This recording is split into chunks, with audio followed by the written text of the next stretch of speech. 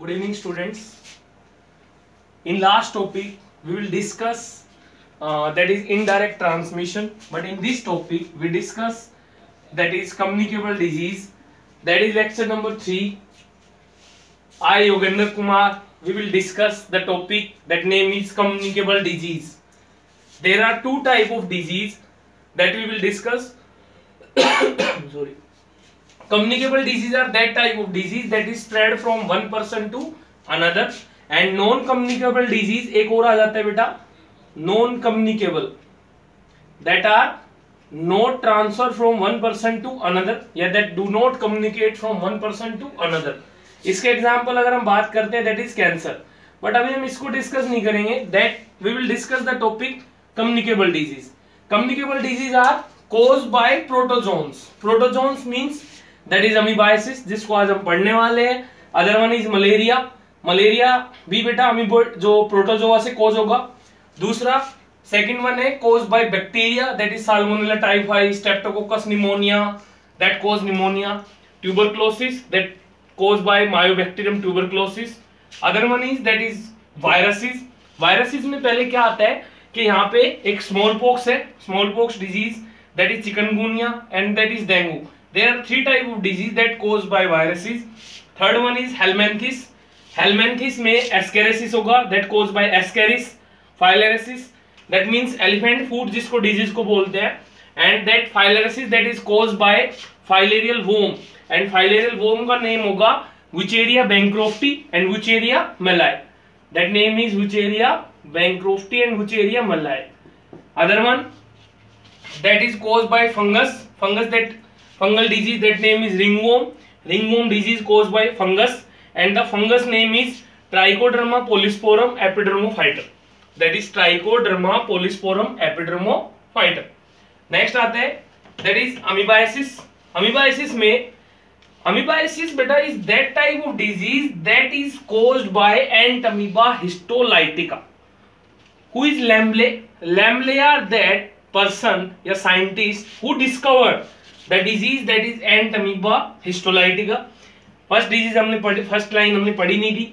That is monogenetic monogenetic means बेटा the single genetic structure not digenetic single genetic that means that affect only single host host means बेटा the particular type of disease that cause in one person that cause in only one person जैसे हमने malaria की बात की malaria is cause in two type to person जैसे मान लो malaria require two type of host one is mosquito and other one is human but in this amoebiasis that required only single host that name is amoebiasis that mean single host का नाम क्या होगा बेटा? Amoebiasis Lambl is a scientist that discovered entamoeba histolytica who disc who discovered the pathogenic nature last lecture में हमने पढ़ा था Losch that is Losch Losch are the scientist they discover the pathogenic pathogenic means हमने बताया था what is the meaning of pathogen pathogen means होगा disease causing organism pathogen means disease causing organism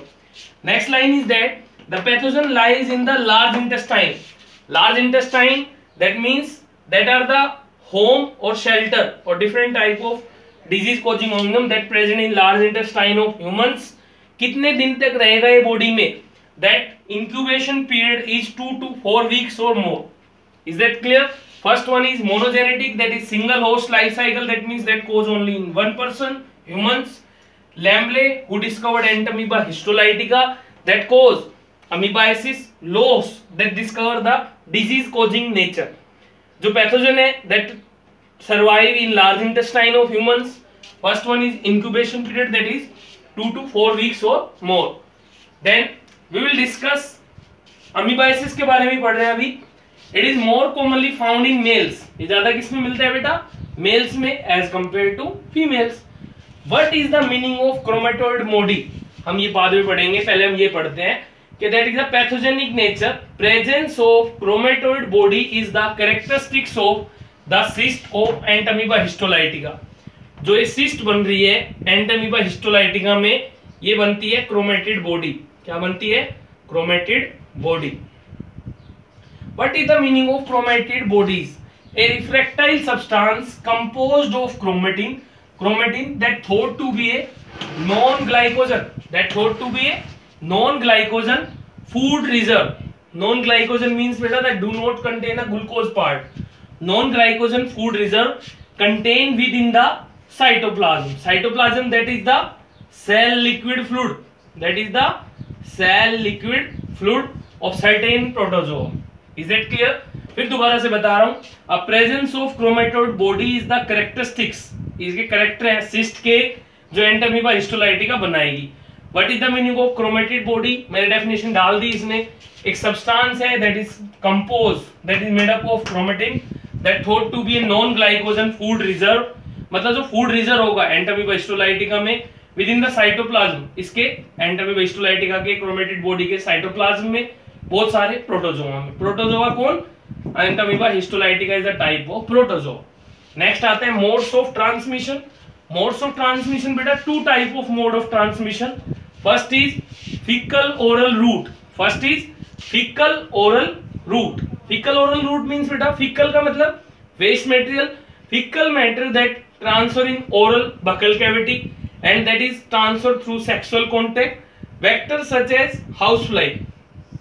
Housefly, हमने पढ़ा है Musca domestica Musca domestica that कोई भी faecal matter है दैट वो वहाँ पर आएगी बेटा और फीकल मैटर के ऊपर से जाने के बाद फिर वो फ़ूड पार्टिकल्स के ऊपर जाएगी। ये हमारा कॉकरोच है। कॉकरोच भी ऐसे ही होते हैं, ये भी disease causing organism disease cause कर सकते हैं। मतलब both are the type of vectors vectors क्या होते हैं बेटा? That is transmitting agent vectors are transmitting agent तो यही बता रहा है कि mode of transmission faecal oral route से सेक्सुअल कॉन्टेक्ट से फिकल ओरल रूट से कैसे फैलेगा? That means the human release जो ह्यूमन है बेटा, वो रिलीज़ करता है क्या बेटा? फीसिस क्या रिलीज़ करेगा? फीसिस वेस्ट सब्सटेंस और वेस्ट सब्सटेंस से पार्टिकल इस वेस्ट सब्सटेंस से। ये जाएँगे किसके पास? हाउस फ्लाई के पास। एंड हाउस फ्लाई कोज करेगी from one percent to another तो जो मतलब वेस्ट पार्टिकल्स आए हैं from one person to another person आए हैं। दूसरा टॉपिक हमने डिस्कस करना है मोड ऑफ़ एक्शन इन्फेक्शन जो सिस्ट है, वो पास होती है unaltered through the stomach that means बेटा, जो सिस्ट बनी थी क्रोमेटोड बॉडी के साथ मिलके, वो अब तक चेंज नहीं हुई है अनअल्टर्ड अनअल्टर्ड का मतलब नोट चेंज अभी तक उसमें कोई चेंजमेंट नहीं आया और वो किसके थ्रू गई? स्टमक के through the cyst wall is resistant the cyst wall is resistant का मतलब क्या होगा?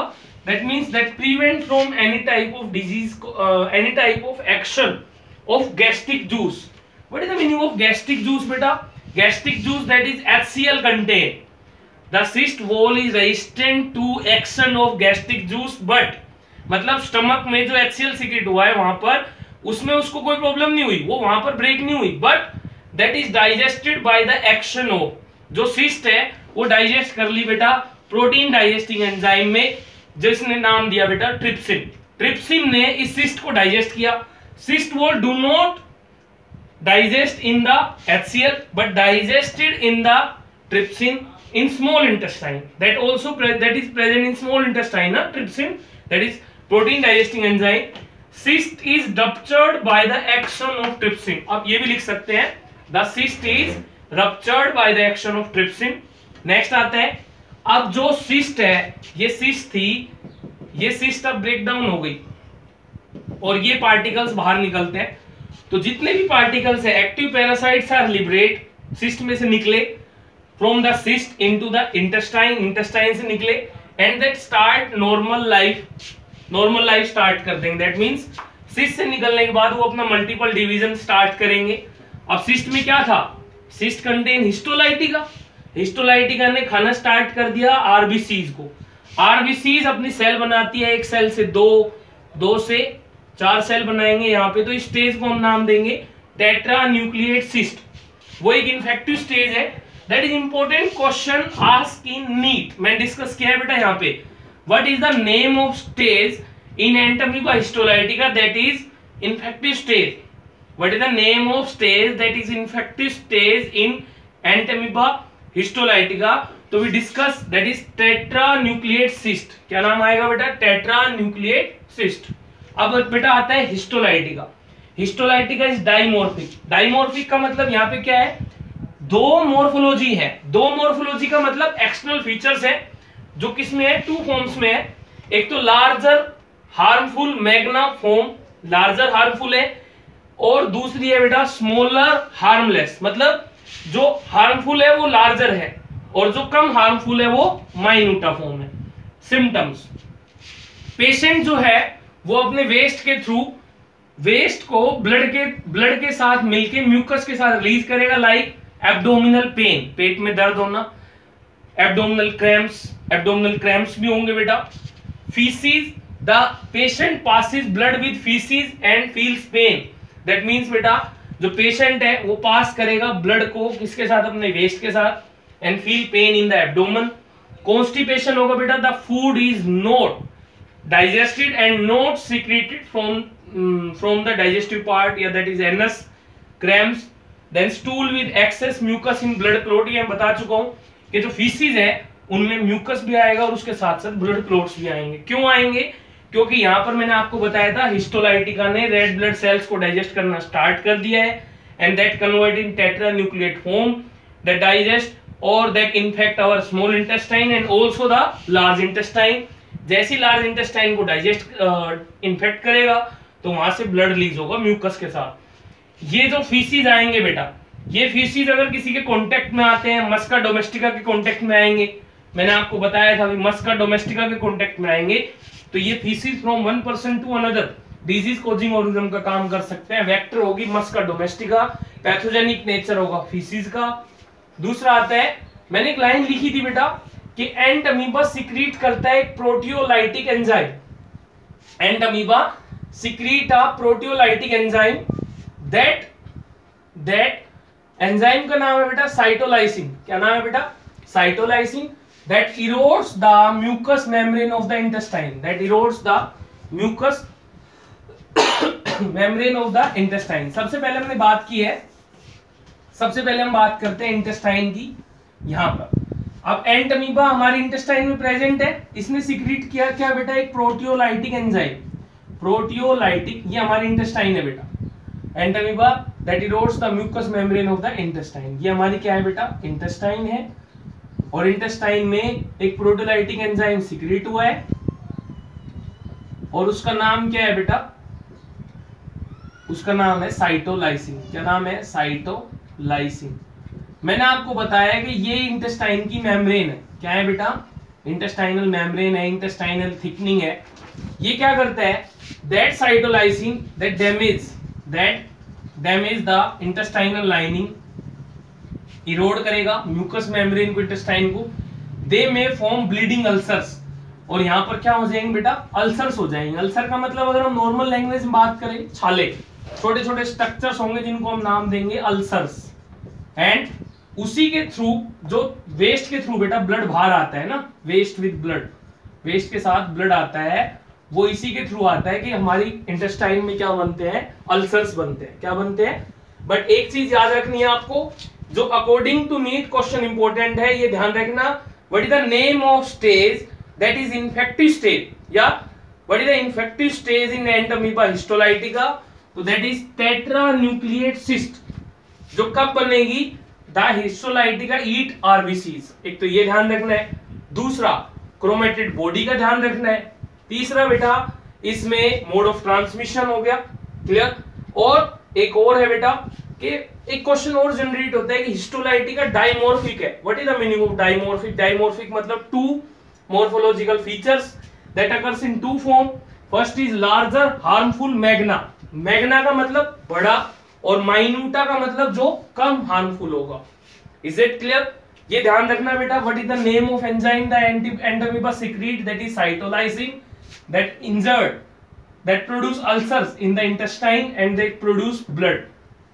Okay beta we will discuss another topic in the next lecture